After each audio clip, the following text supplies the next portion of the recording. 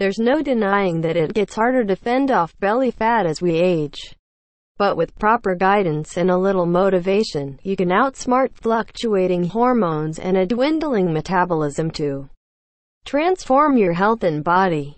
The biggest reasons women struggle with seeing results after age 40 are because they don't incorporate strength training and they're afraid to eat real food, says Los Angeles-based fitness expert and trainer Sarah Kush, creator of the Toning Transformation DVD. Eating clean and picking up weights, even light ones, are the fastest ways to change your body.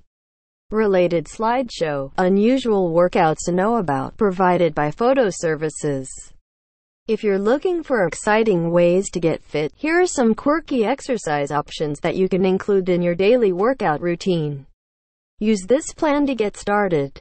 The key to success with exercise is consistency, says Kush. You need a simple plan that starts slow, builds as you get stronger, and doesn't take a lot of time or effort. Aim to work out for about 20 minutes at a time, using routines that you can adjust to your fitness level. Tone and strengthen all over. Research shows that lifting weights can make a big difference in the way your body looks and feels, which is why strength training is a pivotal part of this plan. In fact, when postmenopausal women did two strength training sessions a week, they significantly reduced their body fat and waist circumference in six weeks, according to a study published in the journal Menopause.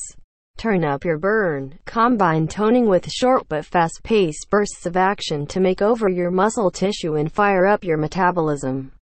Cue up your core, engage your core and access those deep muscles during every movement for optimal toning.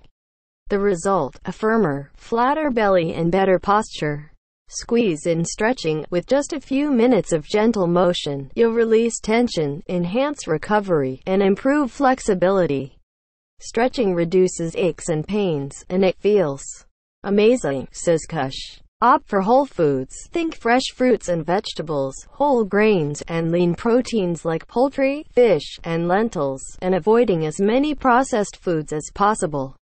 When you eat this way, you'll automatically fill your plate with nutrient-dense foods that boost energy, build muscle, and fight disease-causing inflammation, Kush points out. You'll also slash added sugar and trim extra calories without even noticing they're gone. Here's what you'll get out of it.